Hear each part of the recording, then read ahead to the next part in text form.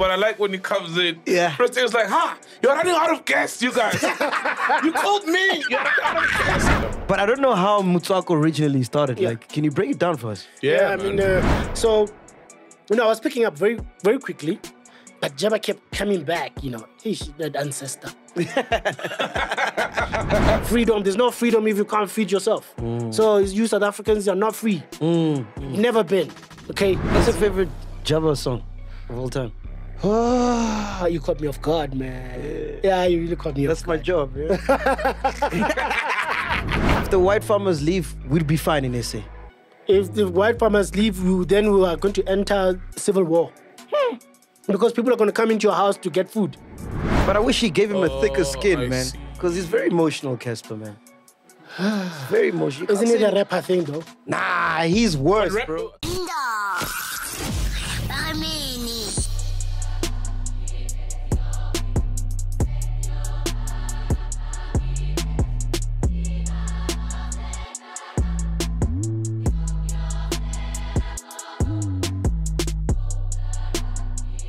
Hinda, Barimene, ladies and gentlemen. Today we've brought you a blast from the past. Hey, I was trying to, I was trying to explain uh, who Mo Molemi is to um, um, who's our son guy Simpiu. He didn't know, and he's a hip hop head, bro. but he didn't know who you are. what do you mean? What I got is pure. Please tell him, school him for two seconds. School Yeah, him. Molemi was like famous for like three weeks or something. In like 2007. so I understand him. Man, he's a Motswako icon, man. You know, a lot of people count him in the top tens and top fives. Yeah, Uh, till today, definitely. You know, not in just Motswako, in hip hop generally in SA. Yeah. It's a big deal, but I like when he comes in. Yeah. First thing is like, huh, you're running out of gas, you guys. you called me. You're running out of gas. And then they were like, yeah, Ella Audio and David Carr. He's like, you see? They're going down. What a Mo Molemi, what's happening, my dog? Yeah, bro. What's up, kids? Legend. Thank you so Oh, much. man. You know, everybody's like, uh, you should go to MacG. Yeah. and I just got an invite from dude who was like, mm, I'm coming. listening. you guys are doing a brilliant job. I'm Thank you, man. Thank you, bro. we've changed the game. Yeah. Yeah, we've always, I mean, we come from uh, record deals from EMI. We got the worst of it, you know? Mm-hmm. And uh, uh, in those days, independence was a dream. Mm. You couldn't think of, if you were thinking independent, uh, they'll just tell you, wait for two years. Mm. Yeah, this one is a bit drunk. He's still famous. It, you'd not get a deal anywhere in this town. Look how big Joburg is. Mm. So, you know, um, to find a, a place where uh, we find some independence in the media space. Mm. It's so great. And big up to you, brothers. Thank you, man. We're gonna get into the farming shortly, man. That's cool. But what you been up to apart from the farming? Um, making babies. How many are we on now? Eish, I'm, I'm behind. I'm only on four. It's not, Hey, it's not good. I mean, it's what farmers do. What else can you do, my man? Besides That's farming, true, right? Yeah. You gotta Yeah, plant the yeah. seed. Yeah. procreate, procreate, procreate. Plow, plow, plow, plow, plow. Plant there. Yes. Uh, yeah, yeah. I, I want to chat about um, Motswako, bro. Yeah.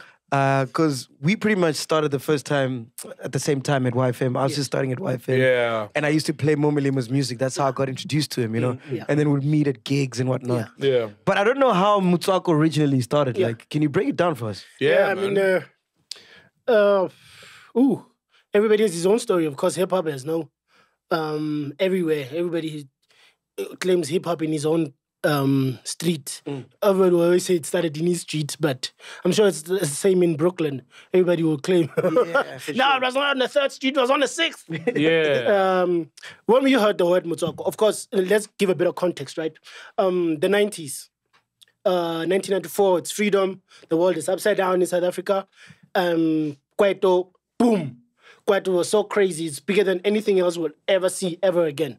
You know, Kwaito was every everywhere in our lives. But at the same time, uh, gangster rap or American hip hop was now really making it globally, right? So this is the rise of Tupac, this is the rise of the Nas's and uh, and the Biggies and so on.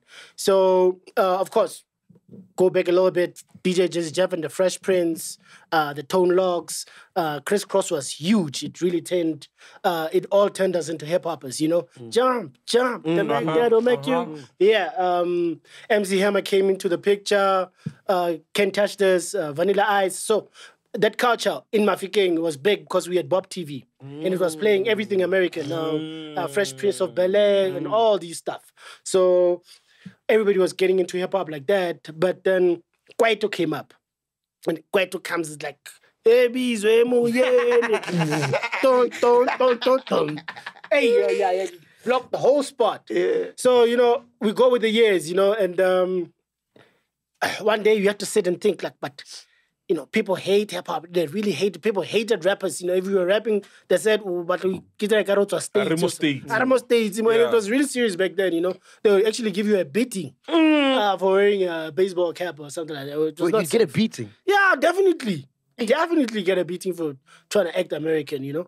Um, so, 95, 96, around about that time, uh, that's when Stoan had joined Thebe and them with the Bongo Maffin. And, you know, he, started gaining a little bit of prog- prominence.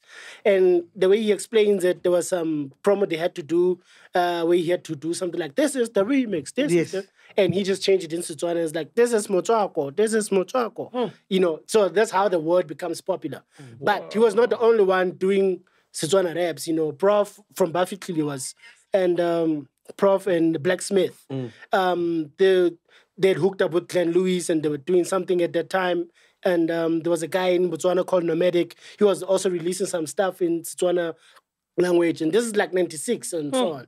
So it wasn't really taking off. Yes, yes. Yeah, but some people were trying it out because when we thought hip hop, it was English. You hmm. couldn't do hip hop in any other language other than English. Hmm, because at that time we were still competing with who can speak better English, you know. Yeah, English was still a measure of intelligence back then. So uh, now we have a lot of fools who speak English. It's all the same. Yeah, yeah. Uh, we're all exposed. We're all exposed. So much for Model C education. yeah, bro. so um, yeah, but um, it's the nineties, right? So it, it was really just not until Jabba came in, you know. Uh, Jabba, uh, I think they had signed in with Verbal Assassins when they were still at uh, St. Albans, um, and um, through Chico. And but ninety nine when he left school, he went to LMB. I was at um, JCE um, in Parktown. Used to hook up there, and then I don't know how he did it. He managed to get a deal with EMI CCP2 through Vosilio. And Vosilio was like, "Hey, who are you?" No, I'm Jabba man. Like, mm, you do a bit of pantsula and a bit of hip hop. You're hip hop pantsula. wow. Okay, you're crazy. Who gave him the name? Yeah, it's like, no, you're crazy, man. Wow. Like, it's Jabba Man. I was like, okay. And then they did the album introduction, and uh, they didn't even tell him the album was out. He just heard somebody he saw the album at okay. He ran there to go buy his own CD. when you got it, it was like hip hop and soul. That's how it happened. Okay, yeah, but um, when he came into the game, um, you know, Kwaito was now at its highest. You know, Tupac, uh, TKZee was killing it. Mandoza was coming in. Now, like this is like ninety nine, two thousand. Like there was no space for rap. You go to a rap concert, they'll just, they'll just stone you. Literally, basically, they'll just bottle you out of the gig. Uh, there are a few guys who were doing some rap back then. I don't remember them. Uh, so some Zimbabwean guy. I don't remember before Mischief? mischief. No, before mischief. Oh, okay. Um, I'll tell you if I do remember him. But anyway, Jabba came in and and uh, that after that summer he went back home. He's like, hey, you know, uh, I was still kicking it with Morafe, uh, which was Todi, myself, Khuli, and KG. Mm. You know, and we had a, a name called L Tribe. Mm. Yeah, L Tribe, and um, but then there was this group that came out, Tribe. Tiba, tiba, tiba, mm. Yes, yes, Yeah, I was yes. like, "Ugh, these guys have messed up our flow now. We don't know what to call ourselves. So Jabba came and like, like you know, Morafe. Yeah, like, yeah. Then then that- that's how Wow, he Morafe started. you Morafe. Yeah, yeah, yeah. Then Jabba did that, and then then he's just like, dudes, man, you guys need to come with me. Like, dog, what do you mean? Like, I'm gonna pay for your bus ticket. Let's go to Jozi. Let's see what. Let's see what we can do. Yeah, then that's it. We just jumped on a bus, dropped up here. We did a few recordings for his next album, Yamav Town. It was a long slog. The following year, we moved in with him while he was still studying at at um, at RAU. Yeah, and then stayed a whole year with him uh, in his flat. um, it was tough times then, you know. Sure. People don't know how tough it was during those record deals days, though. Mm. Yeah, you, you, yeah, like if record, if record deal, if record companies were not listening, that's it. Your dream was It's dead. rap. It's rap. That's a rap. There's no internet. There's no home studio. There's nothing like that. You know, if the record, if you don't get a record deal, you, you don't make it. Finish. One in a million makes it. So, um, Jabba took us in, and um, we hustled together like that. And it was hard, but um, um, we pushed through. You know, the the story is long. We'll write about it one day. But um, yeah, I mean, it's through his um, his vision that uh, the Motswako thing picked up because he started pulling in a lot of guys trying to create one big thing. When we go on, on a show, we're all there together because he's like, look, I feel isolated. Every time I go to a gig, it's all the Zulu guys with the Akwaito and me and my Setswana. So at least If there's a lot of us. it's a lot of us, it's, it's much better. And, you know, he put a lot of money on the table mm. to make it happen from the beginning of his career Wow. right to the end. You know, mm. like from Morafe right up to Cassper, there's mm. like a hundred people that Jabba put on. You know, Wow. now I always say Jabba could have been one of the first guys to drive Ferraris in the game because he was the very first in hip hop with endorsements. Yeah, yeah, yeah. Bo, bo, status and Yeah. stuff. Yeah. Oh, but he was putting it back in the game. Roots or whatever. Yeah. He put it all of it back in the game, Jeez, all of it, all of it. So we, we can never forget that. So you know, Motswako came with that first, and on the second leg, it was YFM. YFM um, gave us an opportunity. You know, uh, back then, um, uh, who's the sister of ours, Lee. Uh, yeah. Lika Lika Sumba. Sumba. Lee called us every day, each and every one of us, dropped a message and SMS for everyone, checked on us, checked how we were doing, took us out for lunches, made sure that we like family because when they moved from Uganda first, they lived in town for a little bit and then they moved to Maftown. So she had lived for a few years in Maftown before she came to Joburg. So we had that camaraderie. But then, yeah, she made sure that we were going to the front line all the time. Wow. So big up to Lee Kasumba for that. But uh, everybody else embraced us, you know. Uh, Fresh, we were very close with Jabba because he was a people's person, you know. And um, yeah, Bad Boy T, Lee, um, a Rude Boy, Rude Boy. yeah, Sansa, Sansa. yeah, all those cats. Yeah, they they they they put us on. I mean, you could do a song now and go to YFM and drop it. It plays in the evening, you know. Wow. Yeah, so they and you know YFM. That's before YFM was still a community station then, you know. But our our music was able to blow nationwide because of that platform, you know. And um, yeah, uh, my album came out in 2000, 2007. Dukes had already been out, Morafe had already been out, Jabba was now on top of the game. And uh, I think by the time I came out, there was a almost now a Motswako exhaustion. and Like, too many of these niggas. Hey, chill with all that. We don't need so many of these. But now, bro, what happened? So you, you, I think you said you were part of Morafe, but Yeah. we were introduced to Morafe as three guys.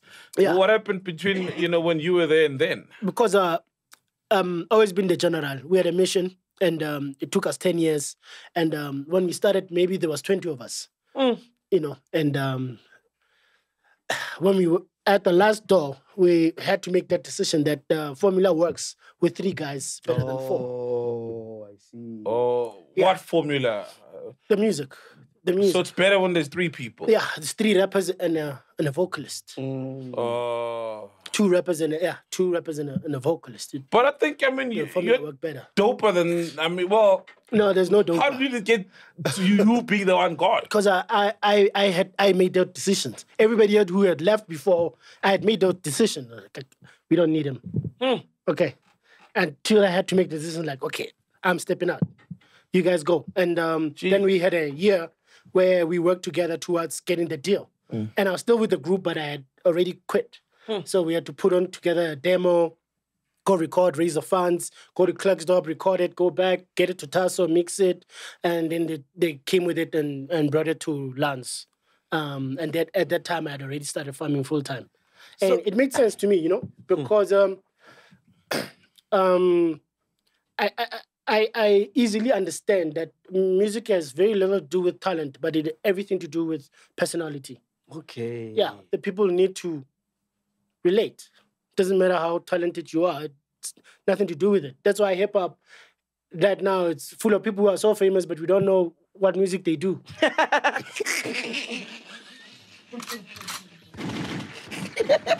That's what it is. yeah. But it's always been like that. yeah. The more it's now exposed on TV and it's more visual, it has become even more prominent. Yes. Mm. Yeah, you don't have to have a, a single. Don't have So, have so you didn't choose yourself because you felt you lacked the personality. Yeah, I just always knew I liked the personality. I don't like people. Um, I don't like the attention. It's just all sucky. You'd rather be around crops. Yeah, I mean, They're more interesting than people. yeah, cabbage is. Tomorrow it's still at the same place.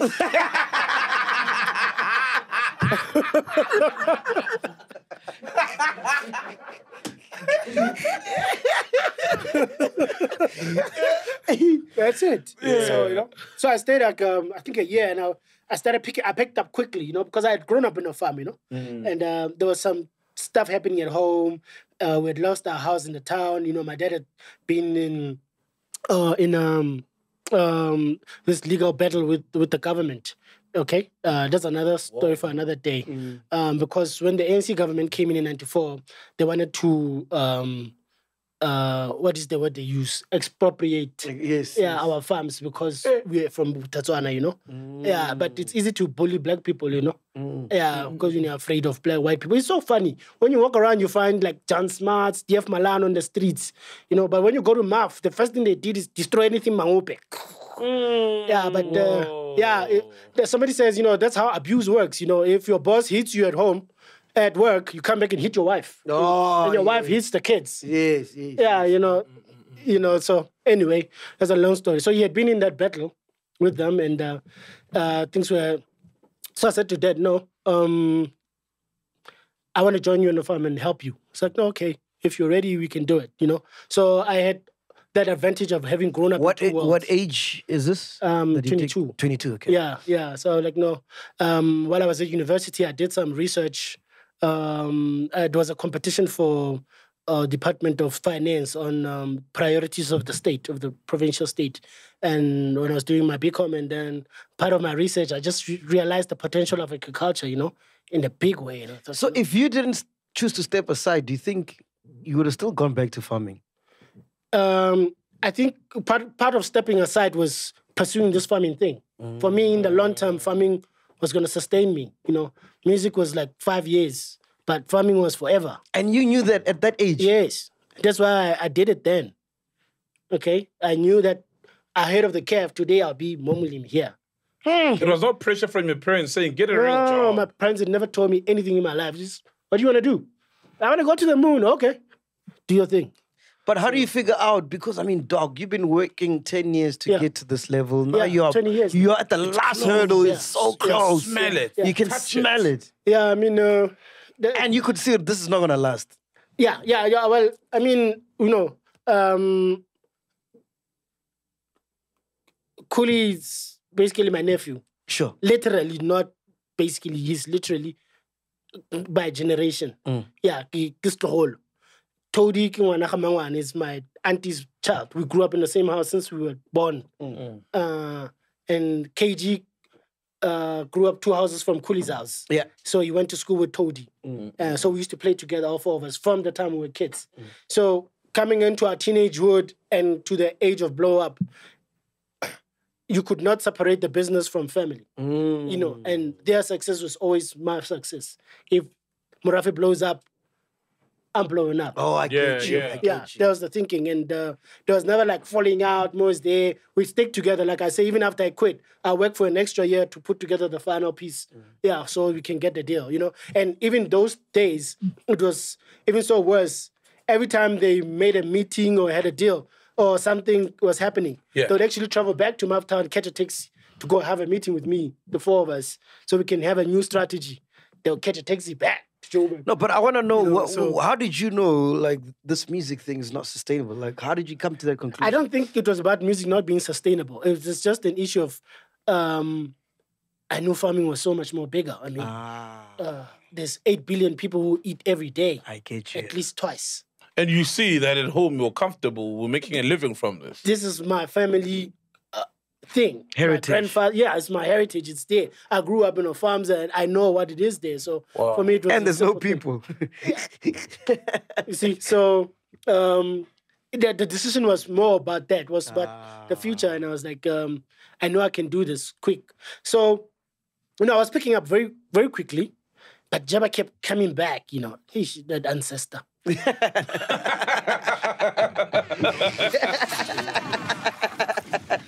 you drive all the way to Maftown, go to the farm there, would sit down with buddies, I don't know, um, the cattle headers.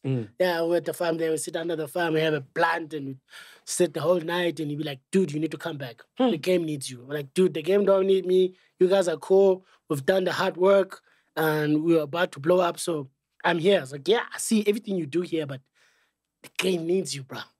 Kept coming back, coming, coming back. The last time he came, um, Proverb was out with um, Later to my ex. no, no, no. What was the first album? My manuscript. The book of bro- Oh. the proverb. The book, book of of proverb. Proverb, Yeah, yeah. yeah, yeah, yeah. Uh, Pro Kid was out. Phew. Uh, what tails and heads. Tails and Heads. Yeah. Uh, Morafe was out. Marua Pula. Dukes was out. Hey. Mafuku Ame. And uh, Jabba was trying to come out that same year. And he was like, dude, it's tough this year. At least help me. Yeah. so we were chilling there having a blast, and he plays this song by Amu. If you see me, Me walking walking down the oh my god, I street. go crazy. And I start rapping there immediately. But selo ke sera, don't be too friendly, I'll phela. Sampatla matlhale o ntse o itse ga ke na. Ke ngwana bokoe, ke ithuta ditsela, ke ba bone. At that time, you know, every time I was working on the fields, because I was doing mainly vegetables. Yes. I'd write songs, you know, like a song like Fuck Off. I'd write it while I'm working on the fields. Yeah. Yeah, with that silent and those birds and Wow. life was almost, you know, and I, I used to interact a lot with the Rastas as well. They had a lot of influence in my younger days. Um, there were a big Rasta movement in Maftown at those Did times. you So- ever write any raps for the Jabba? No, I never read anything for for Jabba. Jabba was a writer in, in his own. You never wrote anything for anyone? No, no, I've never. I've never. Uh, I think Toady, um, growing up, he started so many rap groups. You know, uh, he was that cat who could get three guys who knew nothing about rap, teach them how to rap each, give them a style each, write a verse for them each. You know, yeah. Hey, Toady was Toady was crazy. I would have never been in rap music if it wasn't for Toady because you know, living on the farms, I didn't have many friends. When I go to town, I go to Toady's house. Yeah. And everything, all the time, all he wanted to do was music ever since he was a kid. And did you know Khuli would be the breakout star? Khuli was a star since he was a kid. You know, yeah, even before we were rapping, he was just popular like that. He he had a popping pop personality. You know, It always seemed parents liked him. I, you know, you know what I mean. And when we grew older, the- all the girls liked him. you know, so um, he everybody always could always see that um, he would Khuli Chana, actually be a breakup. But his personality has always been uh, introverted. You know, he Yes. found a lot of comfort, comfort in the group, other than trying to break out. It was very hard to get him to a position where to break up on his own, break out on his own. You know, he's always found um, so much more comfort within the group setup. You know, um, because I mean, even in our teenage years, he was the youngest in a way, Yes. lower brother, and we we like looked out for him, and so we worked around that. You know, and um, just uh, just telling him we had to every time I've been in hostel, uh, boarding school, and I come in holidays, you have to call them, Look, we, we have a meeting on a Friday. We organize them. You know, general get, get the things moving. So uh, would buy singles, CD singles. Uh, then they were sending CD singles. So that's where we got our instrumentals. Had to buy a lots of them to create an album. So once we have enough singles, this happen every holidays. We have during the year we use our pocket money to buy singles. We get instrumentals enough to fill up a TD, TDK tape. TDK tape. Yeah. So once we uh, do a beat selection, we write songs for all the songs. Then we go to um, uh, radio to dub from CD to tape. So we put on the mics and uh, Wow. we hook it up, and then we make a full tape. Okay. So there's no backups, there's no doubling, there's nothing. We have to get it right from the First get. take, yeah. Yeah. All every time. So this is what we did every every holidays until we perfected the art. You know. Uh, that's why even when we started recording, It was simple. yeah, it was very simple. Mm. We didn't have to go back. We, we just could go in the studio all of us at once and hit once. So when you're farming, don't you miss all of that? Don't you miss being Yeah, of course. At that time, when I was still young and studying studying farming, rap was still popping. Like I say, Yeah. songs just came to my head. I could write. so you never thought like, let me leave this farming shit. Uh, farming had a future, bruh. Farming had a future, and uh, it, it, it- there was a purpose. There was a cause. And you know, I say I was with the Rastas and uh, I was into Fidel Castro and Che Guevara and uh, uh, Lumumba, and I was into uh, Ama Cabral, I was into Sankara. I was, Yeah, you know, so my mind was, and you know, all the socialist revolutions had to do with agrarian uh, reform, you know, how the people must feed themselves first. Freedom, there's no freedom if you can't feed yourself. So you South Africans are not free. You've never been. Okay? If you're not able to grow your own food, it's no way you can be free. Mm. Okay? So these were the ideas that was running my mind, you know, and Morafe were guys that just wanted to Vibes. want to vibe, man. Get some pussy, you know. it's too much, Mo. it's too much, man. Uh, so Che Guevara's and just so for me was good, you know. So Jabba, you know, so, he comes, he plays this song, it's like, dude, let's make a deal. I drive you to Joburg now. Tomorrow we're recording at Amu Studio.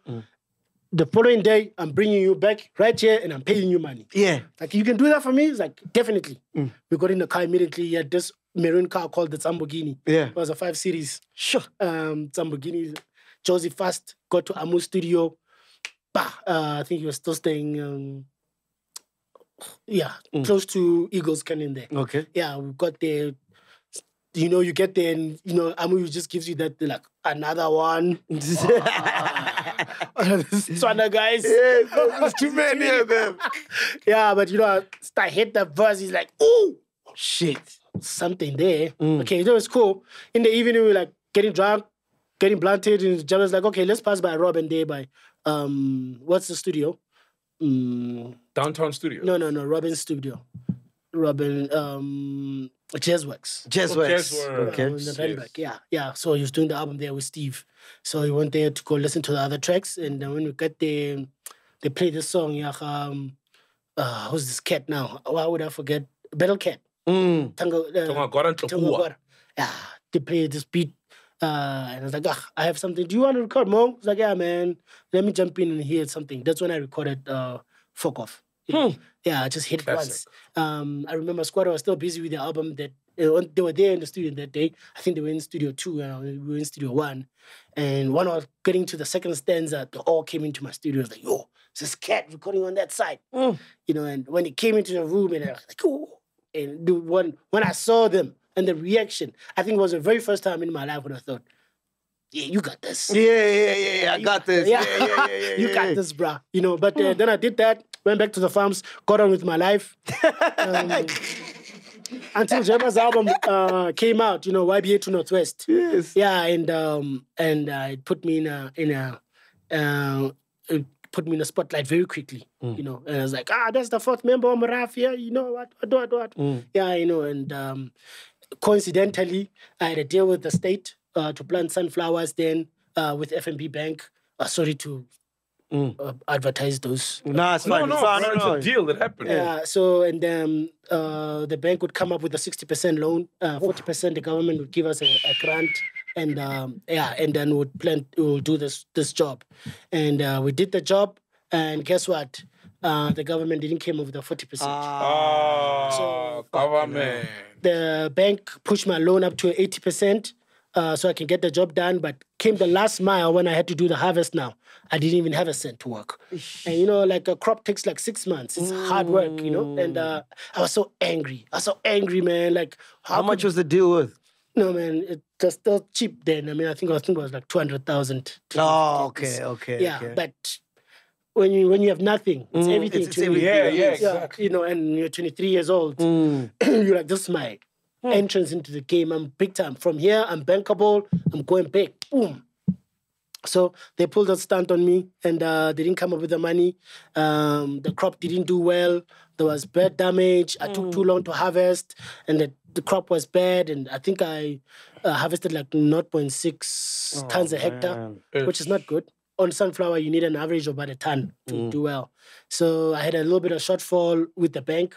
Bank wanted their money. Government didn't want anything to do with me. That's how I recorded fuck off. You know, I was so angry. So Yeah, because the song is still relevant even today. I mean, It's swang more parliamenteng relevant. ya ro- ya. More next year it's coming relevant. Even back. more, it's yeah. coming back big Fuck, time. yeah. Yeah, you know, so fuck off. You know, like you can't like abuse me like this, you know? Um but that's fine. So we did that. Um Uh, and then I had a bit of a shortfall, and I was just crazy. What's your favorite Jabba song of all time? Ah, you caught me off guard, man. Yeah, you really caught me That's off my guard. job, yeah. I'm plowing, me. I'm plowing now. Fuck my mind.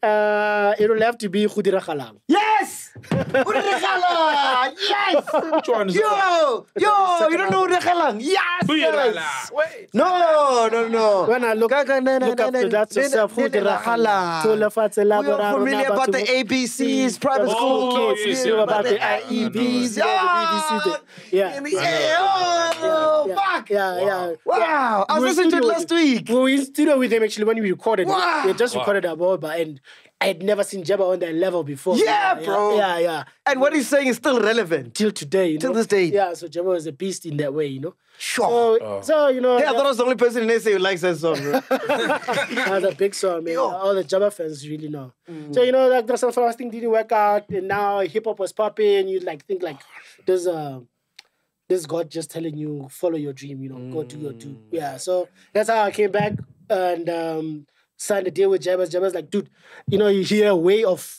of tricking me. You know, this is like. I'll send you for one album. now we've moved from one song to another. Just one. then you can go back. Are you sure? you really, really sure? Just one album more, and then you go. So uh, that's a whole chapter. But point is, after I did my first album, got two SAMA nominations. Wow. After the SAMAs, I picked up my bag and I left. And I, I never forget when I was picking up my bags, Skabomo came to my house. He was looking for one thing or another. He's like, "Where are you going, man?" I was like, "No, um, my work is done here. Yeah. I'm leaving." Like, where are you going? I was like, "I'm going back home, bro." Yeah. Yeah, I just came here to do this one thing and I'm done. It's like, who gets down in this game? you just started. When you're At at the the top. top, Did yeah. you at the top? Hey, man, I love your mind, man. It's special, eh? Like, Yeah, very, bro. I'm done. Yeah, but no, man, you know, every time I would smoke, then I would get uh, like paranoid, all the traffic, like, dude, I must go back to my cabbage, eh? Here, I'm going to die. Let's talk about your farm, bro. So, Yeah. what are you farming? How many hectares do you have? Yeah. What does it look like? um, when I was Just- born, just in the- yeah, when I was born in the eighties, my dad has had already been in the farming business for a long time, uh, working for government and farming. Like a lot of people started, but uh, at the time when I was born, he managed to lease uh, a, a real farm. You know, Hmm. I think it was about it's about uh, 520 hectares big, so it's very small. It's very small. I must tell you, yeah, it's too small. Um, but it was big enough then, and uh, I think a few years later, 520 yeah, hectares. It's yeah, small. yeah, it's small, small. Oh, my goodness. Yeah, like, uh, farming is a numbers game. Yeah. Yeah, you really need the numbers. You know, you really need Yeah, the yeah, numbers. yeah. Yeah, can we get a fan in here, man? Yeah. Niggas boiling, man. Yeah, man. Hey, man, you've been sweating. Kupugisa iplat, man. You got man. And me. Ah, but used to this. He's a farmer. Yeah, used to no, heat is not a problem for me. Yeah. It's just that maybe it looks, Yeah. it looks bad on TV. That's cool, man. Yeah, anyway. Um, so a few years later, he managed to build a house on the farm and moved the whole family there. So, Okay. yeah, primary school was a real bitch. You know, Yeah. like we had to wake up early in the morning, drive 30 kilometers to town in the afternoon, go back to the farm, weekends on the farm, no electricity, you know. So um, it was a real tough uh, environment. But after you grow up, then you realize, oh, thanks, Dad, because now I know Thank you. everything. Thank yeah, you. You know, I can the whole thing- survive. Yeah. the whole thing is ingrained in my system. Yeah. Yeah, to become a farmer for me, yeah, it's like a it's like a backhand slap. How many? How many? How many hectares you got now? No, we're still keeping on the farm. It's, it's, it's a family farm. It's not my farm. Um, it's the family farm. The, fortunately, we just lost my dad last December, so Oh shit. um, I'm practically like in charge, but on behalf of the whole family. yeah. Yeah, so my sister is there. She's doing the farm management. Uh, she calls every 10 minutes. She called just now. that's beautiful, yeah, so I'm working from Joburg now. You know? Oh, okay. Yeah, yeah. I've, And you guys do vegetables. I know you got a farmers market as well. Yes. So yeah, I'll come to that. Why I'm in Joburg. Um, so the farm is there. We've been working there for doing a bit of cattle, did goats, bit of chicken, like a mixed farm, you know. Yeah. So and um and and crops. So you know we it's been it's been up and down. Farming is not um for the majority of people in the business. It's not an easy job. Yeah. No, not at all. Yeah, there's some people who want to make it as if it's uh they have arrived, uh, but some of them are because uh, they've been fortunate to be beneficiaries of corruption. You know, people wash their money on the farm, the farms now. It's a thing. So Oh, they wash money. They Yeah, wash get money corrupt everywhere. money, I wonder why they the haven't started with podcasts. They wash money everywhere. Yeah, we're waiting. Okay, so how would you wash money? How, how, how would you wash money in a farm? We're hoping for business. Come, wash it. Yeah. yes, you, Edwin. Yes. Yes. same way you do in the club. Same way. Yeah, I mean, um, um, it's very, you know, all the people who are um, making some sort of success in any other kind of industry, they always end up in farming because that's what their tax advisor advises them to do. Because now, if you buy two cows and um, um, in three years they're six. Two cows is two bottles of grandeur in the club, okay? So, yeah, All right. yeah, but um, in a year now they're four. Oh, yeah, okay, cool. Yeah, and um, in four years, they've doubled. You know their Value. Eight. Yeah. Yeah. Okay. Yeah. No point is, if you have now eight cows, and now you come back to me as the tax collector and say I have three, how am I going to prove it? True. Mm. And then all the unwashed money, you keep it in the couch in the farm. There you go. well, we are So simplifying after it. you done washing it. No, I mean once once you whether you're selling it at auction or you're selling it privately or whatever you're doing. Um, Please explain. I'm, I'm laughing, but I'm a bit lost. yeah, I mean it's it's a bit more complex complex Yes, than that. yes. You know, Or you can wait for a Sudanese businessman to then yeah. say the Yeah. money is from there. I they think pay. to, to simplify it, let's say um, it's very difficult to track money in that space. Oh, yeah. Yeah. And that's what washing money is all about. yeah, yeah, yeah, yeah. Okay. So, so, but anyway, uh, the, the track the stuff. Um, farming is um, Have you checked out um, Jeremy Clarkson's farmhouse? yes, not farmhouse. I Yeah, think he had a he had a, a series where he was Yeah, on learning Prime how to Video. farm. Yes, yes, Yeah, he was buying a tractor, and getting Fucking started. beautiful. I Yeah, love yeah, that shit. Yeah, and- That's what I understood. Yo, no, this is no child's play. I love what Jeremy did there because he he experienced it as it goes. Yes, Like, yes. And it's so entertaining. I didn't think this thing was so hard. I spent all my money. so he bought he bought a cow. I don't know what the female cow, right? And her whole job is just to produce more uh, uh, uh, uh, cows for him, right? And he got this very expensive bull. Yeah. But now he's invested so much money in getting this cow pregnant. They've done all the things and whatever. She's just not getting pregnant. so how the season ends, they're like, bro, you gotta have to, you know, get Get rid of it. because it's just dud. chowing. Yeah, it's just it's a dud. It's just chowing the grass. It's not producing anything. yeah, yeah. It's not doing its job. Yeah, it's cost- So he looks at the camera. It's like, honey, we've got a new pet.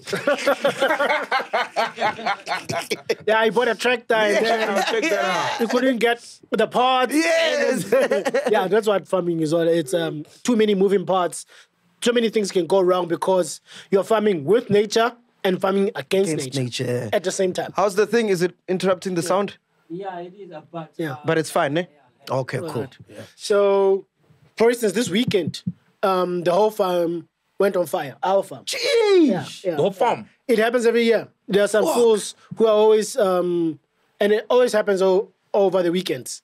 Every year when it dry season, expect to be veld fires. Okay, so it's obviously drunk people. I don't know if it's on purpose or whatever they do, but fortunately, we'd already harvested, so there wasn't so much loss. Uh, when you are there and it's happening, it, it looks bad because veld fire is but uh, we're used to it. You know, as long as there's no losses, no animals lost, and no crops lost, um, the rains come and uh, it's green again. Knowing kno- knowing what you know now, do you regret um, the decision you made to choose farming? Instead You know, of I. I regret ever choosing hip hop Okay. because I would have been so much further farming. You know, Ah, yeah, because um, I've lost a lot of credit from people who were supposed to help me. Who just say, "But this guy is just a famous, he's a celebrity." Oh, he's a I get rapper you. Trying Uh, to, trying to get into undermine our profession. yeah. Oh. Yeah, and for too long, even it still happens even till today. You know, every time something comes up at the department, it's like, hey, this guy's been pushing guys. Let's giving him hundred cows. There, like, hey, isn't this guy a rapper? He's benefiting there. At Arts and culture. Arts and culture, Yeah. yes. When my name comes up at arts and culture, it's like, isn't this guy a farmer? He's benefiting dead. They did the same to Jeremy. They're like, stick to TV. Yeah, yeah, yeah, yeah, yeah, yeah. E- Everybody's territorial like that. So Mm. we had not moved to that world of people doing multiple things, and today it's a thing. You know, Yeah, you yeah. can be that and that. And of course, but of course. Yeah, yeah, you coming up, it was very strange. You know, and uh, of course, uh, natural. It's just always a lot of jealousy, you know.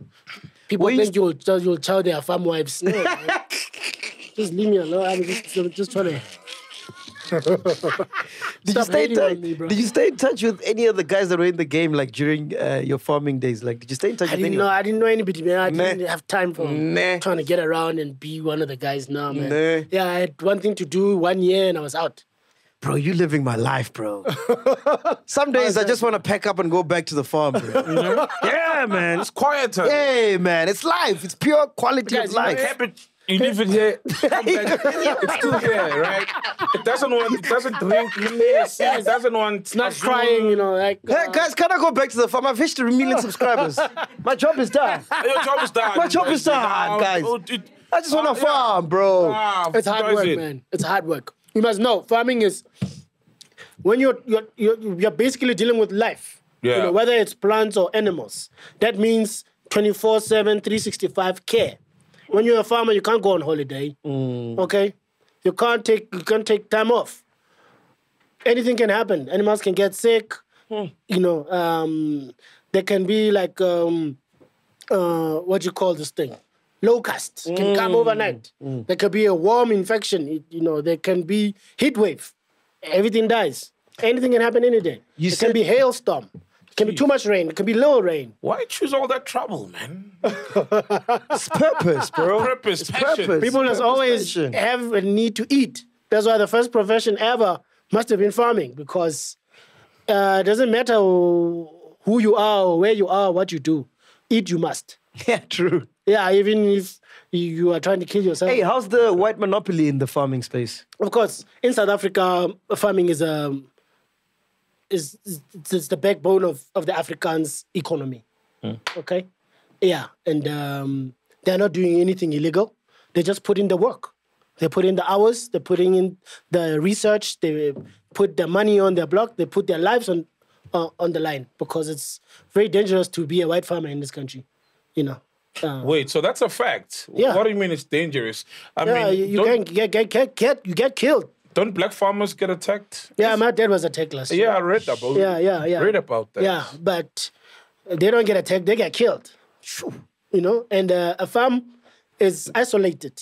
Okay, Mm. there's no neighbors. Your next door neighbor is like five kilometers away. That's why I'm thinking. Then all farmers get attacked based on the fact that they are solitary. Yeah, yeah. And or then yeah, it so happens that most farmers are white. Yeah. They're not getting attacked because they are white farmers. Yes. They're getting attacked because they are farmers. Yes. And they are low, alone in the Yeah, and they are rich. bush. and they got they're rich. So you wouldn't say it's dangerous to be a white farmer, just to be a farmer. No, but because uh, demographics show us that it's more white farmers that get attacked, It means they could be targeted. I- wow. We can't we can't rule out uh, a political motive. Hmm. We can't. Crazy, man. You can't Is it political or is just crime? Like I can get robbed, Yeah. shot dead outside the here. crime is there. it- And it's not going up. my race. But you can't rule out the political motive. Hmm. There's history in this country. We live it every day. So, uh, with that said, then, what's your opinion on uh, the whole Julius song, "Kill the Farmer"? Yeah, it's. I think it's irre- irresponsible. Hmm. I think it's irresponsible for him to be doing that. Um, for whatever um, um, he's trying to achieve with it, but I feel it's irresponsible because um, it's people's lives on the line. We are Hmm. not at war here. yeah, yeah. You know, if literally we were at war, it would be something else as a war chant. But in today's times, um, South Africa, we've always been te- teetering on the brink of disaster since 94. 94. You're People will be saying this country will be down and out. but When you sit down with, are. with white farmers, what are they saying? Our farmers are the coolest, man. They just want to get work done. For real? Yeah, I mean, a lot of black farmers you'll see who have become very successful, not a little successful. I'm talking billionaires, okay?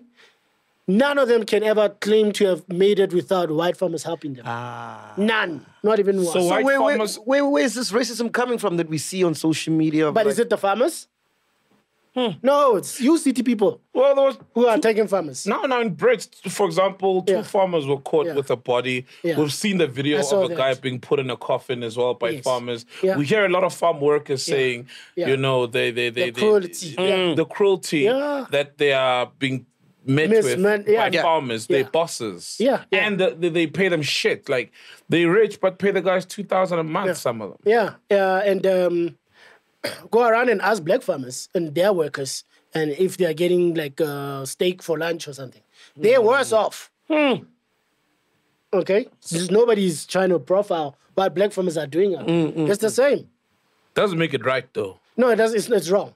It's hmm. wrong. It's just, it's just that it, it's an industry thing. It's not a racial thing. You know, and I'm not here to protect. Uh, Yes, of course, of course, Yeah, of yeah, course. You, Yeah. you speak in your reality, Yes. what you observe. Yes. So, yes. what do you say about people that say if black people got all the land back Yeah. within a day, it'll Yeah. turn into shits?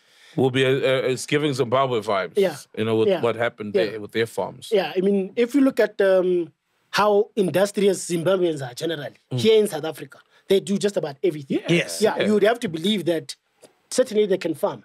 So, what is uh, collapsing the country? It's the sanctions, it's the lack of capital because farming is expensive. Oh. Okay? You can be a hard worker, you can have all the knowledge if you have no access to capital and proper capital, okay? Because white farmers, they don't talk to ordinary bank what was there. They talk to the farm, the bank manager, okay? Because they are holding the food security of the country in their hands. You can have all the gold and all the money and all, the, but if there's no food, we have a disaster. Yeah, that's true, man. Yeah, yeah. That's so true. Yeah, uh, the quickest this country can become hell is for people to not have food. So, if the white farmers leave, we'll be fine in SA. If the white farmers leave, we, then we are going to enter civil war. Because people are going to come into your house to get food. The hungry will eat the rich. So, I'm going to eat Sol. If you're hungry, you will eat so. It Don't finish yummy. me, dog. You don't know where to start, boy. You you you finish me, man. Yo, is that's crazy. Yeah, that's the quickest way you can, and there's nothing else that can make this country like uh, uh, it's hurting people here. But the quickest we can get to a very abnormal situation is for people not to have food. Okay, this is why our government is making efforts to have these 350 grants, and we don't like them as taxpayers. But let the people go hungry, then you will see. And we are very close, very close, very close. The poverty in this country is real, and uh, people don't have the skill to grow their own food. People can keep 10 chickens in the backyard and a little plot and to sustain themselves. People literally depend on going to the store to buy food Because of all the malls in the township. because of how we have been socialized. Okay? But in my entire life, I've only seen like one agricultural university. Yeah. I think it was around Taung, but in the northwest, no? Yeah, yeah, yeah, th- So we should have more of those kind of things. The college, actually, yeah. Yeah, yeah. Look, I mean, uh, there are a lot of ways. Um, you know, construction is a huge opportunity in terms of uh, infrastructure development and, and of, course, of course, IT and uh, you know uh, the entertainment business where we're going with internet now. There's growth everywhere, but um, I think agriculture has the easiest, the low hanging fruit to reach the uneducated and the poorest of the poor, especially those who are in far flung areas. There's nothing you can't do in agriculture anywhere, including even in the city. Okay, we can grow roof food on our roofs. We can grow food indoors. I know we grow only wheat indoors, but we could actually grow food indoors. Uh, we can do it just about anything. So, um, Where, where you at right now in terms of your journey into farming? Are you where you want to be, or is there still more you want to dude, you know, I'm in the game 20 years and I'm like at 15%. Fuck me. Yeah, yeah, but it's not because uh, it's uh, mainly because I'm a scatterbrain. I could have made better decisions, uh, and um, but I've learned a lot. Yeah. Yeah, I've So learned a lot. 100%, what does 100% look like? And 100% is two, three generations down the line. Ah. Wow. Yeah, my grandkids or great grandkids. Yeah, So it's not more land. no, it's just more hard work. Um, because of my socialist um, leaning and so on. I've always been on this Che Guevara thing. Like, I don't need land, man. What I need is product on the land. I don't. I don't need to own land. I don't want to even own land. Okay, I just want the product on the land. whether I'm leasing the land, whether you are farming and giving me your product, doesn't matter. That's where I'm I'm at mm. in terms of in this is. And then when you when you reach out to these politicians, you have a conversation like you have now. What what are mm. they saying? What did they say to you? which politicians, man? You know, I've always found that it's very difficult, especially in agriculture, because um, you find a lot of our comrades they want quick turns, mm. things that can happen now and it'll be a kickback next Oh, weekend. you yes, know, yes, now yes. when you talk farming, it's like you're talking two generations.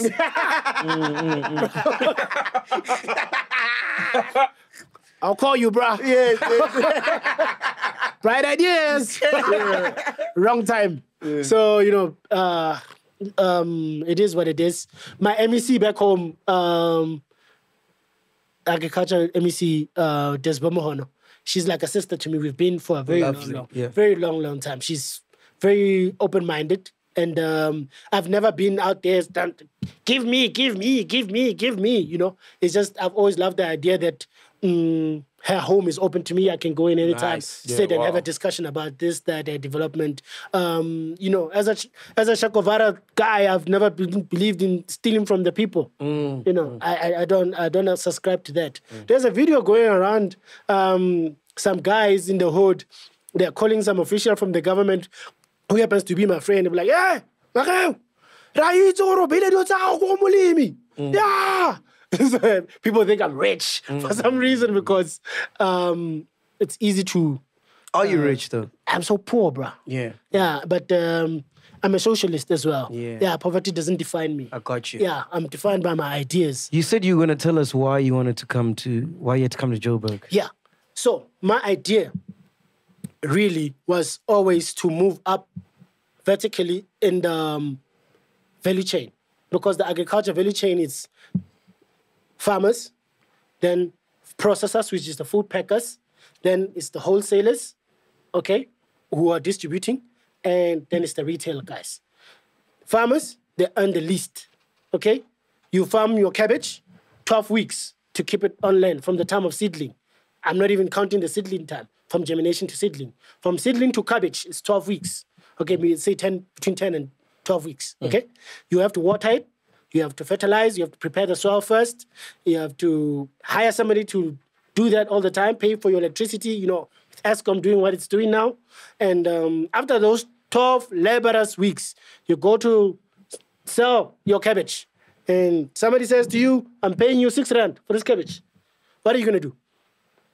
You take the six rand. Yeah, you can't take it back home. You can't sell it to someone else.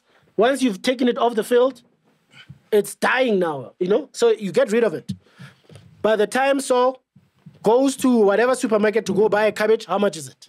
12 rand. It's 20 rands. Jeez. Go there today and check how much your cabbage is.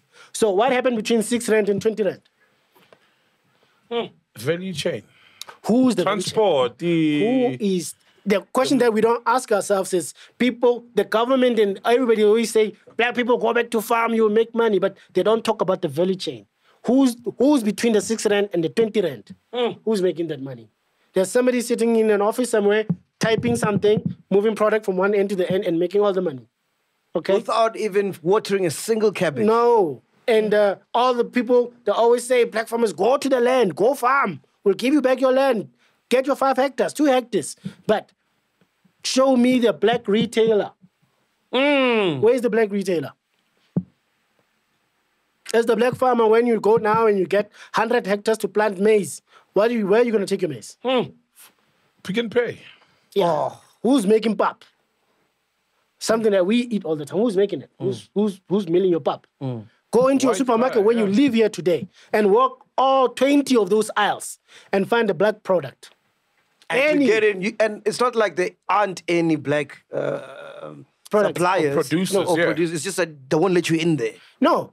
You go into any supermarket today, I promise you, when you live here, go in any supermarket just down here, uh, move forward, and, and, and find a black product.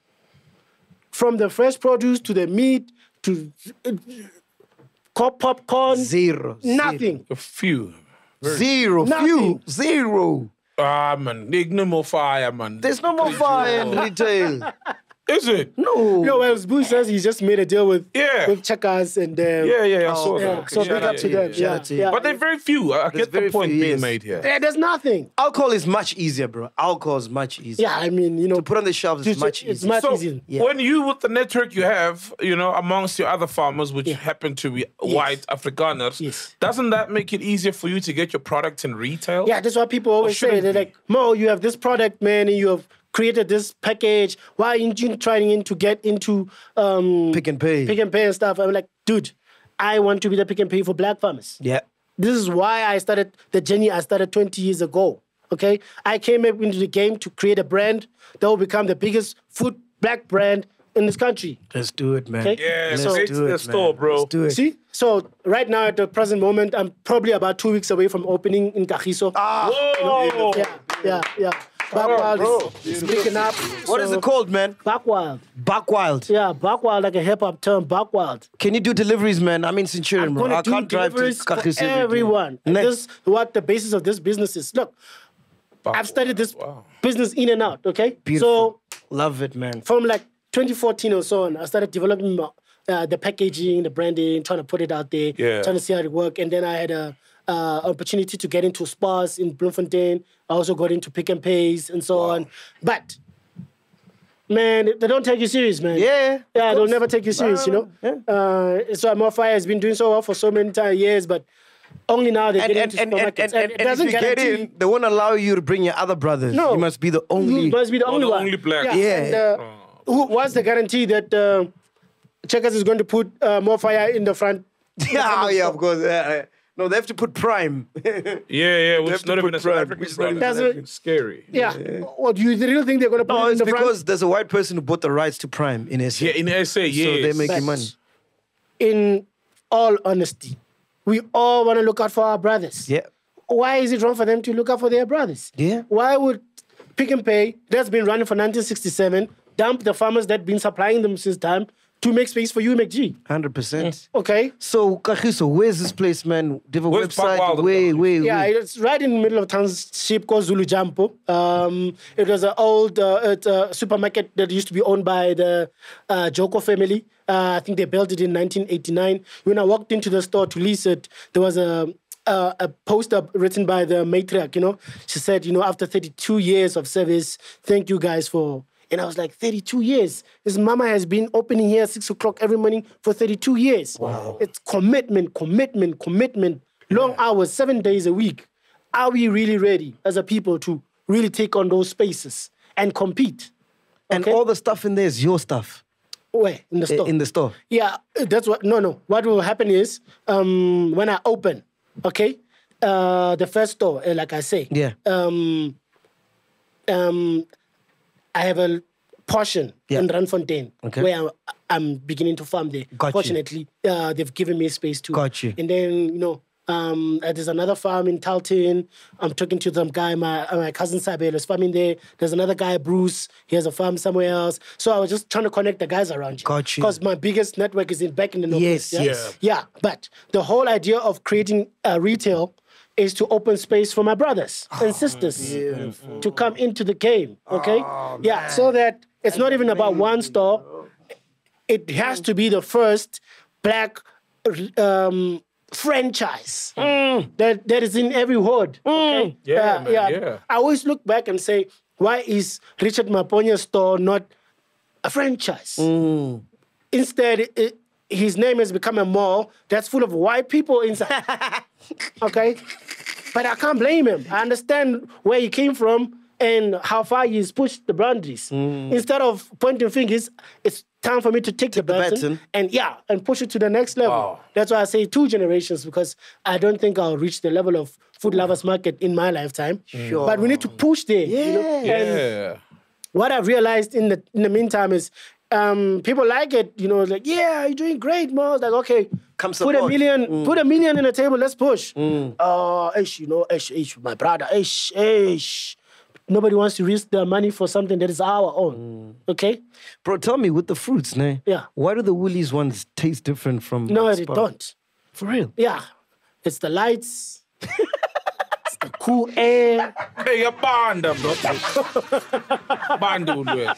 It's the packaging. It's the same fruit. Sa- It's the same tamati that you are buying at the taxi rank. No Ah, but way. number grades. How do the grades work? The grading. And what def- It's just determines the big? English, bruh. It's just big English, okay? Yeah, it's just Grade big. A. Yeah, just big English, bruh. It's big English. It No, the grapes nice. are seedless though. Yeah, I mean, uh, Woolies has farmers, okay? Okay. Uh, that everyone, like uh, uh, checkers, they work through Freshmark. Okay. Uh, Freshmark does their fresh, fresh produce, and um, then they have their farmers that produce for them. Mm. Pick n Pay also has their own farmers that they're supporting and so on. But even Woolies have their farmers. Mm. Um, you will find that you'll find different kind of products to other stores because Woolies tends to import things from Israel. Oh. So Okay. even the grapes, the seedless ones, ne? Yeah, some of the products that you'll find that you don't find anywhere else, Yes. they're imported. Okay, yeah, you know, and the, the people BDS, B is the BDS was fighting it all the time, but it's neither here nor there. But even the people who are in the country doing like uh, specialized farming, they will be attached to such markets. Got you. Yeah, then they will get um, what it's worth, what their, their their their rent's worth. You know, yeah. So it's it's very easy to if you are the right guy doing the right thing to go and say, hey, Mo, you know, I'm growing snails. Yes. You know, mm. who eats snails? But uh, There's a gap. There's, there's a a market. gap. Mm. Yeah, and then I can make space for you. So this is what I really want to get my mind into creating such a thing. You know, for my brothers to be able to come up with such crazy ideas. And Yeah, say, they haven't figured out mashonjas yet. You They're see what I'm call saying? it something else. Yeah, see what I I'm mean, they're saying? making And a the makunya pack- now. There. They make it all queen. yeah, there's plenty more things. Yeah. So, no, you see- and our fun, man, it's like, yeah, air fryer or something. Our fun. I'm Not only will they move into issues like Magrinas, but they're actually fighting to come into the township and the villages. Oh yes, Woolies. Yeah, I Not, started. well, not Woolies, but everybody else. I mean, you save, um, quick, quick something. P- Pick n Pay now. quick quality save, quality save. Checkers has been with you save and Yeah. they contain it. Yeah, in the they, they rebrand a bit, but they know. You know why they want to go there? Because where does all the grand money go? There. food. in the castles, in the hoods. In the hood. Yeah, the oh, hood. yeah, yeah. Yeah, in the hood and in the villages. And who's taking all that money? Is the foreign nationals. But my friend. Yeah, they take all of it, and it's the billions. Yeah, yeah. bigger, yeah. it's Yeah. Billions, yeah. So the big guys. So that's why they're city creating so many time. malls. That's why. That's why they have to go there. Ah. You know, to go collect the tax money that they pay. Jeez. That's wild. that is wild. So, so there's a race for that for that market. yeah, and it makes sense. Yeah, it makes sense. Yeah, You know. So if And, we to are get, not and to get space in those malls, you Tough, See? eh? tough, it's bro. It's tough because by the time the mall is built, all the It's tenants, it's full. Yeah, Bro, the they're already full. they're already uh, not even auctioning, but they're already selling space in malls, malls that aren't built. Yeah, that will be built in the next five years. Yeah. So this thing's not rational. You know, when um, Ackerman bought Pick n Pays, I think he started with four stores in Cape Town. Yeah, four. Yeah, and at that time he had been fired by Checkers. But Checkers was big because it was almost. I think it started in '55.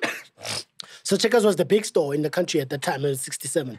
So he he had ways, you know, that he had learned in the states of undercutting them. You know, um, buying stock well in advance so that when prices go up, he has stock and then he sells it and undercuts them in prices. You know, and um, then they made a then you know Checkers came up with a model of saying, look uh, Ackerman is only in Cape Town. We have stores across the country.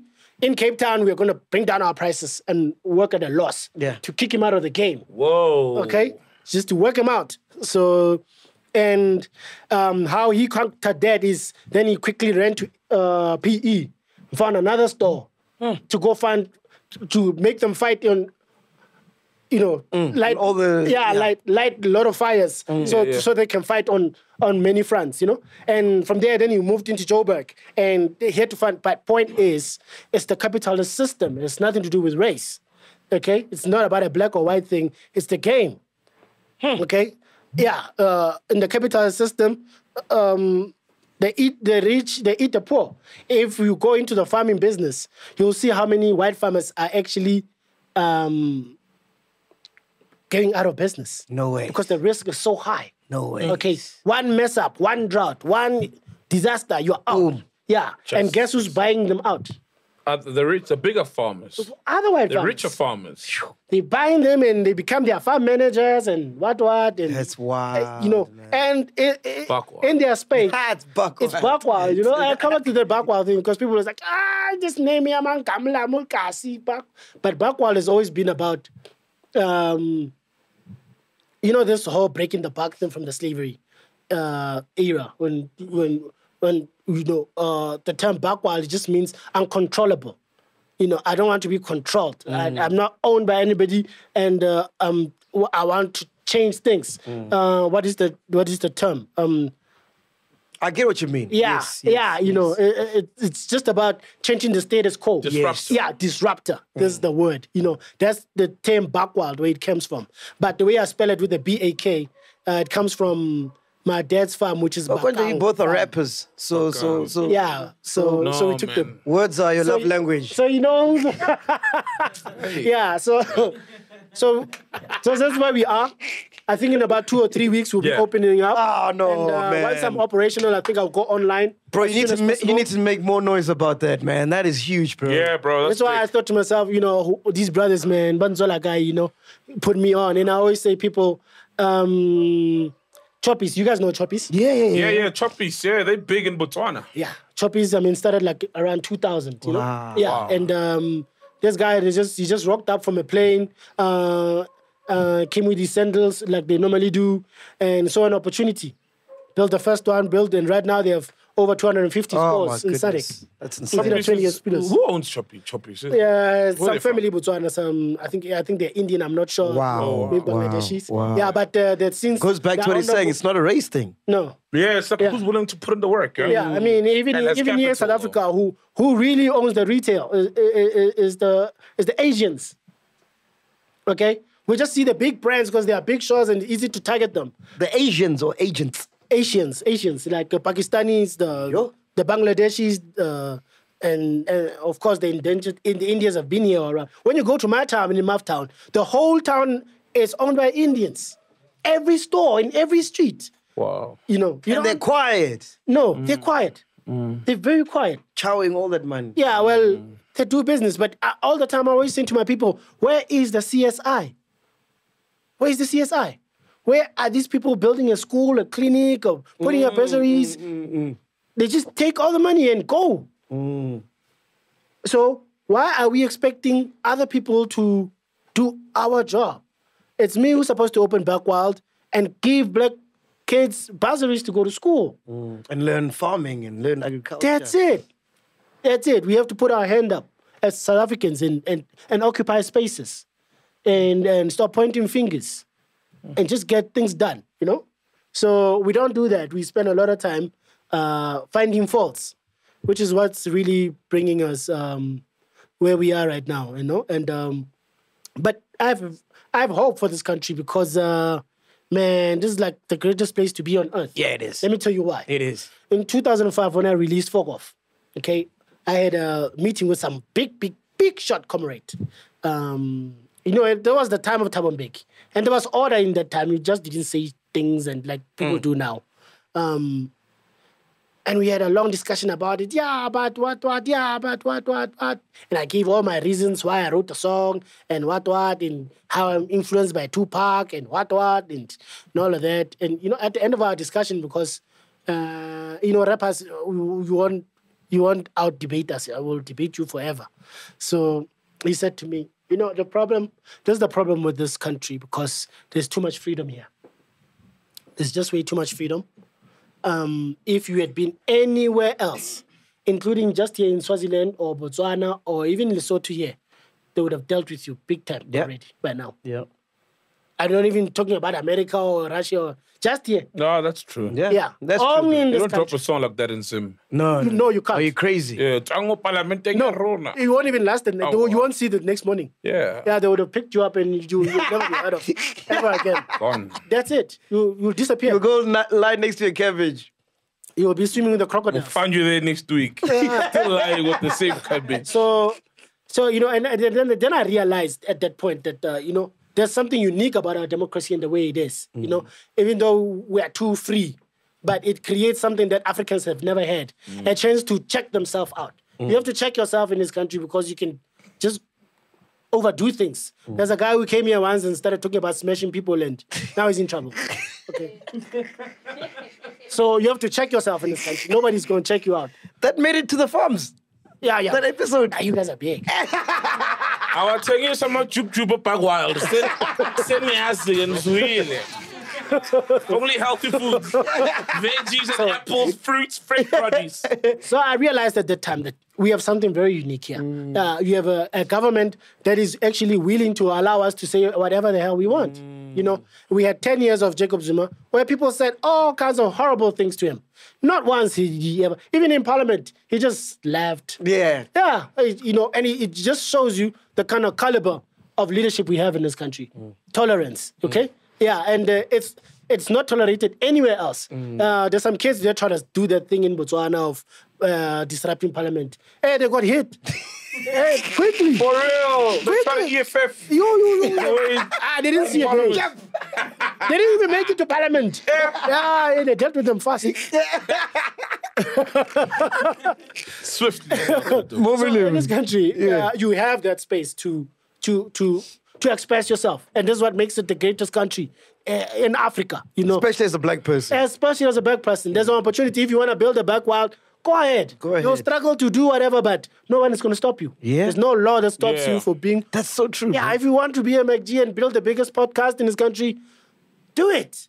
Get yourself some data and But. South Africans would rather go on Twitter and talk about Yeah. why this podcast doesn't work, but not build their own. Yeah. Since you know, I get it. Yeah, I mean- you know how to do a podcast. I Uh, get it. yeah, yeah.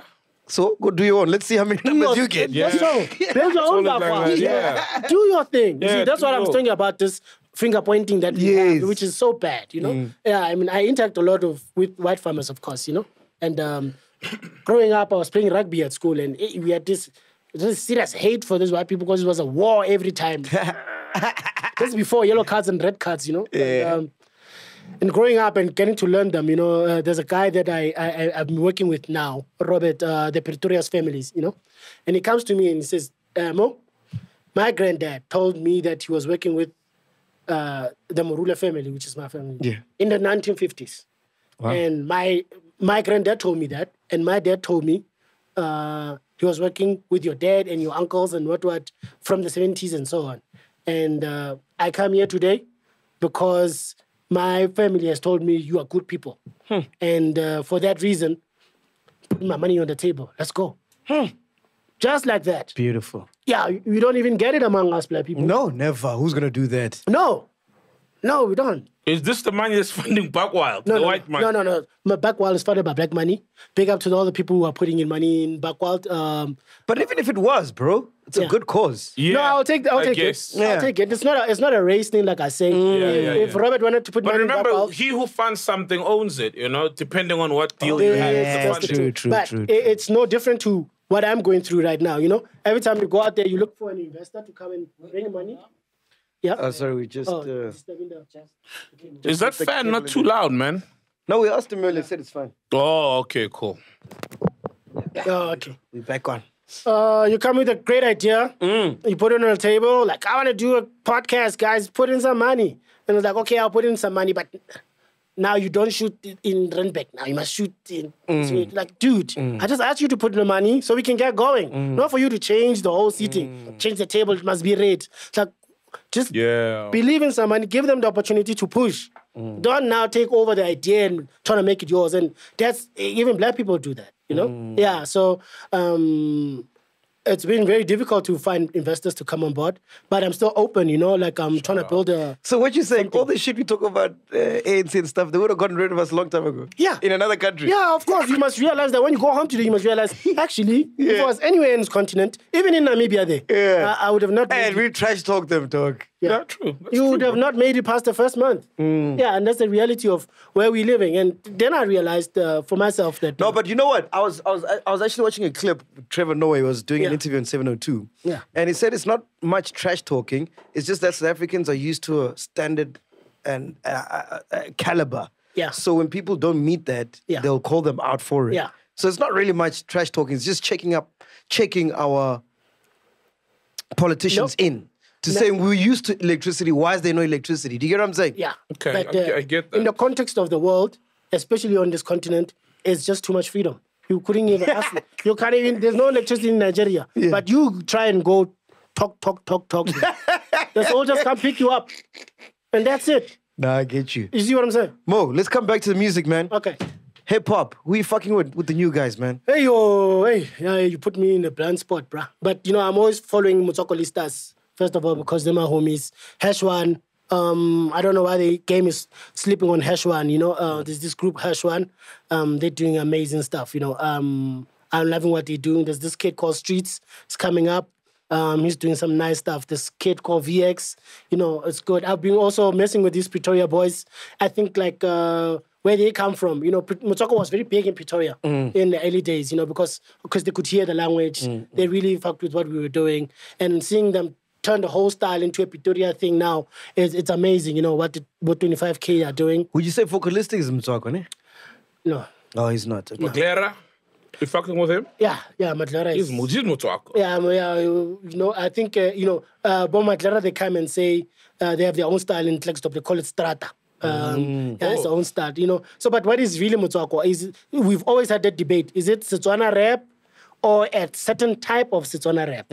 Okay. Uh, or can you do Motswako in Pedi or in Zulu or in Xhosa? Uh, do you, can you still call it Motswako then? Or is Motswako a Maftown thing? Is it something that only Maftown guys do? Because there's a big Motswako in, in, in, in Botswana.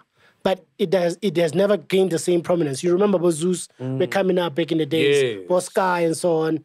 But it it, it, it, it seems like um, the, the fields had nev- never leveled out. So Motswako remained a subgenre. More than a subgenre, it, it, it really became like an elitist kind of genre. Yeah, I get you. Yes. Yeah, yeah. Maybe that's why it never grew. Or... Yes. Okay, yeah. That's you. why it, it never really grew beyond the five, six, seven Mm, people who were doing it, you know?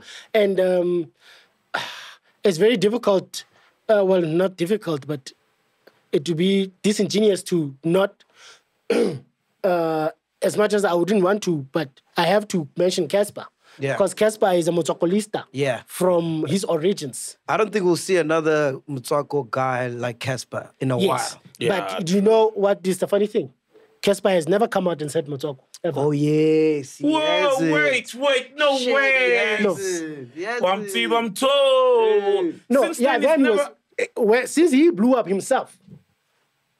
Isn't like the whole Prince of Maftown and Motswako What is Prince of line up- Maftown? A gig he does like, I don't know, once every year, No. annually. No. It's Uh, not Prince of Motswako. It's Prince, Prince of true. Maftown. Wait, Cassper Nyovest has never said Motswako. no, No. never since, not since he's That, blown does up. Motswako feel like they they are old Cassper saying no, Motswako? no, no, no. Cassper put in the work. Yeah. Okay. Yeah, when Cassper first moved in, he stayed with me and Tumelo in my place there in He stayed with you as well. Yeah. Can't do. Who did he not stay with? Well, who did we not all stay with? We all lived like that. Ah, Fa- I your, you, I your family, yeah. Yeah, we all lived like that. We, everybody has lived at Tasso's house. Everybody has lived at Yeah, Jabba's yeah, house. yeah, yeah. Everybody, and when I got my own house, uh, Morafe at some point had a what they call Morafe house, and at any given point, there were twenty people living there. You know, uh, rappers, uh, graphic designers, and so we always had that. Um, Shit. We used to call it um, embassy And right now, idea. You know, we get our guys, they come stay with us, help them get into the game. You know, yeah. and right now everybody's just doing their own thing by themselves. Yeah, I think, um, like I say, you know, Cassper was the last ender.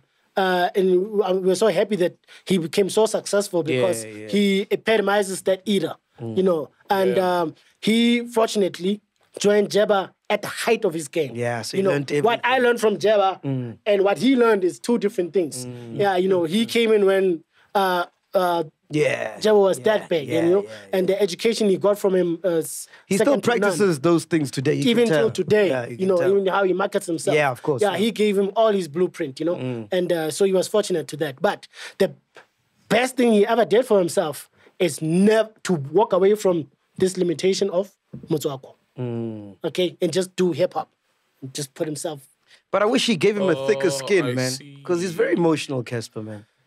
He's very emotional. You Isn't it a rapper thing though? Nah, he's worse, Rap- bro. Because he's saying, but rappers should get it because rappers generally dish it out, and Yeah. you grow up under rap, battling, very competitive. Yeah. It's a contact sport, hip hop. Uh, so you you don't expect someone to be that sensitive coming from that Yeah. sport called hip hop. Uh, yeah, I think it's a, it's enough to just big him up for Yeah. what he has done for me. But that's just about it. Drop them. I can't go beyond giving him his props. yeah, yeah, Pinnacle, you got a question, man. Oh man, uh, farming, bro. Like, so if one wants their kid to get into farming, or Yeah. someone says, you know what, Yeah. I've always been fascinated. What What's my first step, you know, to immerse myself in that world? Uh, you just drive by any of these streets, you find these guys who are selling these flower things that are designing these Zim guys that, you know. Yeah, go out there to a nursery, buy yourself some pot, uh, the potting soil, and uh, go into even a supermarket, anywhere, buy seeds. Put seed in soil, cover it, put water, you're a farmer.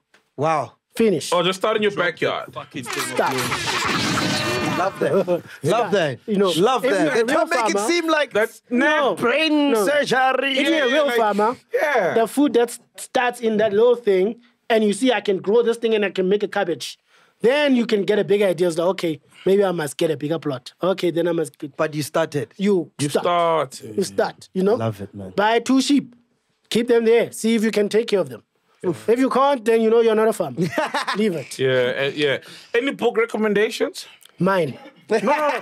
Oh, you got a book? Yes, I have a book. Nice. Yeah. Damn, what's it called? It's called uh, Walk in the Park, um, but it's on Amazon. Nice. So it's a PDF. Yeah. Dope. Nice. A Walk in the Yeah, Park yeah. by. Bro, a lot of people are going to be asking how they can get in touch with I can already see it. Yeah, because people are gonna want to put their stuff in Bakwild and Yeah. in Far, they want to thing. know more about farming. farming. Yeah, it's true. I answer too many questions. I'll only feel those who have money to put into Bakwild. Then I'll respond to you. If you want to ask questions, don't call me. Yeah. I'm tired. So come to Bakwild. Go to the I government. I love your honesty, man. Don't call him. He's tired. You know, go to the government. They have answers for that. But if you got money to put into Bakwild, call me and uh, let's share the money. Uh, when it's all said and done, what are you going to be remembered as, man? Farmer. Yeah, I, I think uh, the essence of what I do is the farming that's in me. You know, people always say, "Ah, Mo, but you're sitting in the in the city." Like being a farmer is not about having to prove that I'm wearing khakis every day. And no, it's the mentality that I have towards the idea of food security and stability. You know, so I want to be grown to, to have changed the game in terms of farming. Um, because my great grandfather was a farmer, his son was a farmer, his farm was a farmer, and when I became a farmer, I'm like, what's so different to what these guys have done? I want to do something different. I want to build a name. So one day, kids will go out there and they'll see Bakwild as a food brand, like a ZZ2, Phew. or like, uh, like Simba, or like what other food brands you know? Yeah, yeah, yeah, yeah, Yeah, yeah, yeah.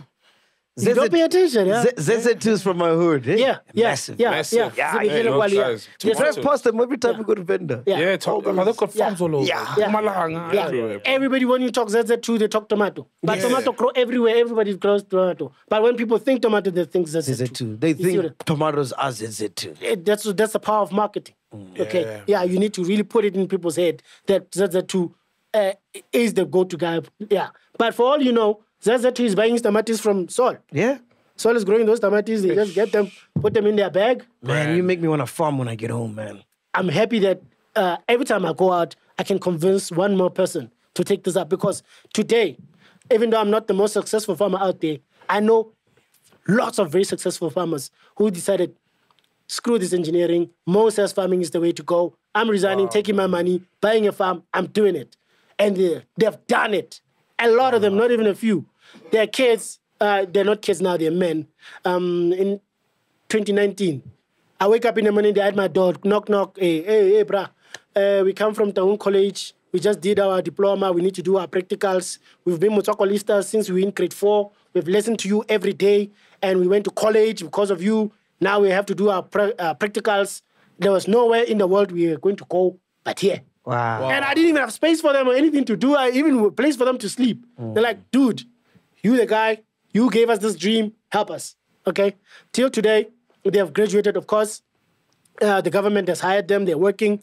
Um, they're doing fantastic work for the food security business, uh, for component of the department. But they're still my mentees. Okay, Wow. they're still my mentees. We still do mentorship together, and very much I've sold them the dream of Bakwild. That guys, once Bakwild built, you will be able to be those farmers who are Beautiful. building this thing. Mm. And you guys can bring in more guys so we can build this thing. For long, we should be self sufficient. We should have enough produce on our own to sustain Bakwild without going outside of our circle. Yeah. Yeah, and it's been a 20 years building plan.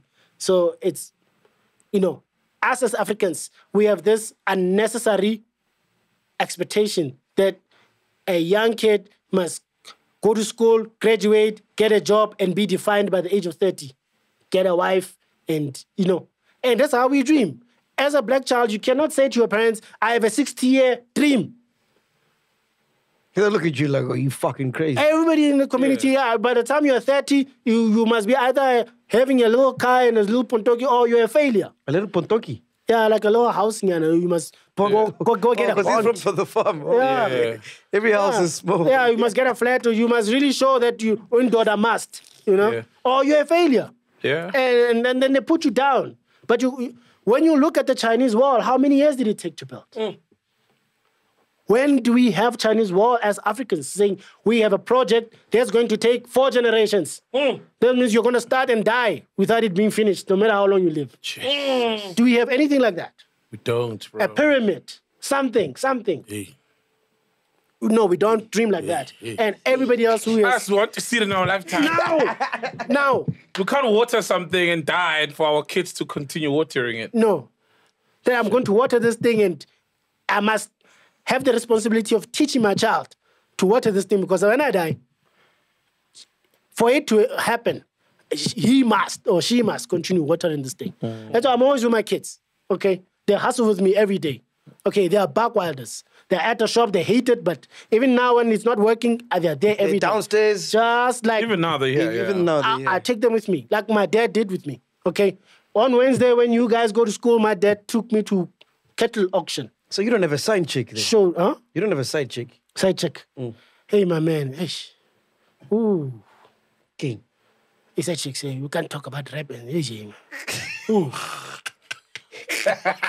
Hey, hey, what will Hey, you threw me off again. No, no, You no. know, no. you, he takes his kids everywhere, so he must not have a side Yeah, chick. you can't. You can't You take can't. them there. fuck around? You know? No, no, no, like, uh, You'll find out. Let me tell you, when I was in my 20s and 30s, it seems like I would live forever. And I'm 42 now, and I started to feel, especially since Jabba left, uh, I really started to now feel my mortality. And I and I think to myself, uh, this country is so dangerous and it's so violent. Anything can happen to you any day. And if I was to go now, my dream would have not even been close to being realized. Okay. And I can't even expect anybody to take it forward. So Yeah. every day from now is a bonus. That's why I must be 100% Bakwild every day. Beautiful, Love it, Every day. Love it, Okay. I'm running out of time really. Yeah, So man, yeah. yeah. I always think to myself, the body's creaking, the what what. like, I have at least 20 more years to push. Yeah. 20 years to push. I, if I can put another 20 years of hard work, um, I know I can turn this thing around. Love it, You know, man. but all the people who have shown me love and support all these years, my family especially, they've never doubted me. You know, my brother, my sisters, my parents. Yeah, I was like, just leave him. I think he has an idea of what he, where he's trying to go, and that has been the biggest motivation for me to say, um, it. You know, because when you start off, you're like, "What are you doing? Are you rapping? Are you fine? Are you confused?" Wow. You know, and all the time I would tell my dad, "Look, I understand what I'm doing is confusing you, but don't impose your confusion on me. Mm. For me, it makes sense. Mm. Starts with rap the side, starts with farming the side. It builds a pyramid. At some point, rap and farming is one thing. Oh. I'm Wow. different from other rappers because I'm a farmer, but I'm mm. different from all the other farmers because I'm a You're a top rapper. MC, not just a rapper. Top MC. Elite MC. One time. That's rap life for you. That's it. That's the definition of what Park was teaching me in the 90s. Mm. Okay. That's Shout out. Yeah. Man.